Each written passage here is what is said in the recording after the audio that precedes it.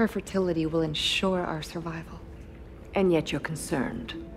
What would I have to be concerned about? The warning I gave you about Lisa's betrayal. I can see it on your face. Working on you. Suspicion. Remember when your breeding skin began to grow? That's when you first betrayed me. You were weak.